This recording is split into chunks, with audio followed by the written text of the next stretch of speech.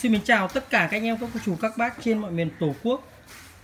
Hôm nay cửa hàng Tùng Huyết Audio làm một cái clip để giới thiệu về hai bộ combo 30 giờ set. Với cấu hình là một loại côn 76, một loại là côn 86 cho tất cả các bác tham khảo.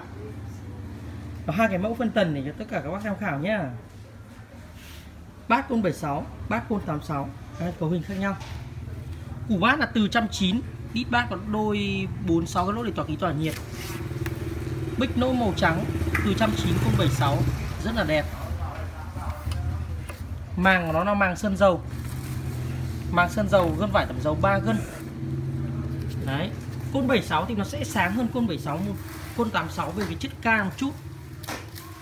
Và con này về cái độ lực của côn 86 thì nó ngang tầm như cái dòng côn 100 các bác nhé. À, với cái con này nó rất lì đòn này. Từ 190 con 86 là hai gân màng giấy ít bác có đôi 4 6 cái lỗ như kiểu các cái bích của bát súp. Và con này là viên nam châm của nó rất là dày. Viên nam châm của nó dày lắm. Bích lỗ màu trắng. Từ nó dày nhá. Từ nó dày. Đây là một dòng sản phẩm là bát hàng chất lượng cao. Côn của nó côn 86 nói để về lời thì chắc chắn là côn 76 nó sẽ sáng hơn một chút thôi các bạn nhìn một tí thôi. Nhưng nói về độ lì đòn thì con này nó ánh ngang tầm như các cái dòng bát côn 100 bác nào yêu mạnh mẽ đánh con này. Con này nó đánh ờ, nó lì lắm. Đánh ờ, công suất lớn lên cái màng nó đứng thăm thắt luôn. Từ 190 côn và tam côn 86 bích dày từ dày.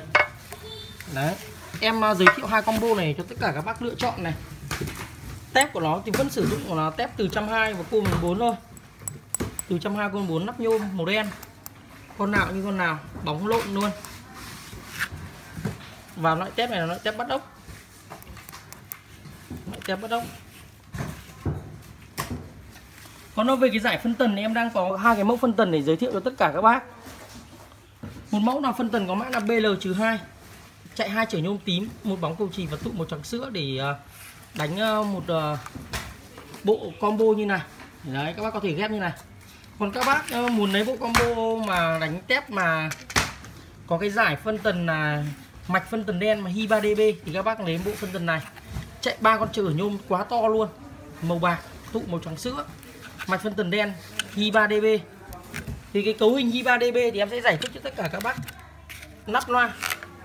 Đối với giải phân tần này nếu các bác đánh một cặp à, củ tép mà từ 120 hoặc từ 140 cùng 4 như này thì các bác đánh đấu cho em cái đường tép là đường hi 3 db là sẽ ra đường tép này. Con này nó có đường in này đường ờ, bát này. Đường in là đường vào nhá còn đường lâu đây là đường bát này đường hy đây là đường tép này. Đường hy 3db này là đường tép này. Phân tân này chỉ là giải là một bát một tép kèn thôi. Nhưng đường hy 3db sẽ cho giải tép to hơn cái đường hy này. Thì bình thường mà mình đấu một bát một tép mình đấu đường lâu này. Đường hy 3db và con tép này. Đấy. Bình thường cái đấu tép con 4 thì mình đấu vào đường hy 3db còn đôi khi mình đã, con phân tân này đánh bát 40 từ 190 và đánh tép kèn 750 thì mình sẽ đấu đường hy này và cái đường uh, tép côn 75 các bác nhá.